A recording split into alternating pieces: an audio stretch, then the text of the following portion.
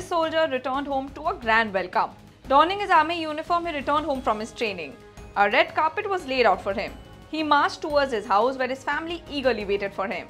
He saluted them and they showered flower petals on him. The message welcome back home is inscribed on the ground.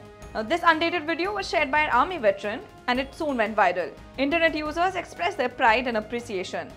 Serving the country in uniform is a proud moment not only for the soldiers but also for their families.